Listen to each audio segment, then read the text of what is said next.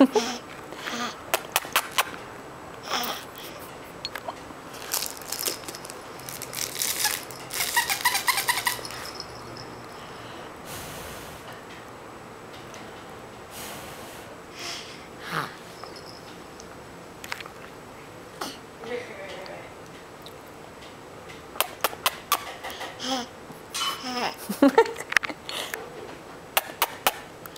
yeah